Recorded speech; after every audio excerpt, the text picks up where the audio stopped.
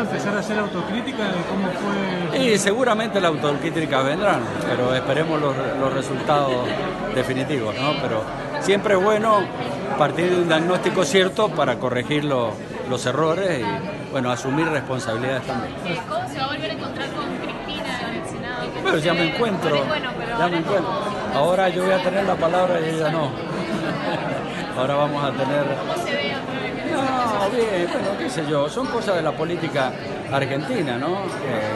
La, verdad que la jugada que hizo Cristina al tener un techo eh, le, fue, le fue bien en la decisión de, elegir Alberto Fernández, si bien todavía no tenemos los resultados, pero lo que fue las pasos fueron, fueron más que meritorios, la decisión política y la audacia que tuvo en ella, dos veces presidente, ocupar ahora un escalón más bajo.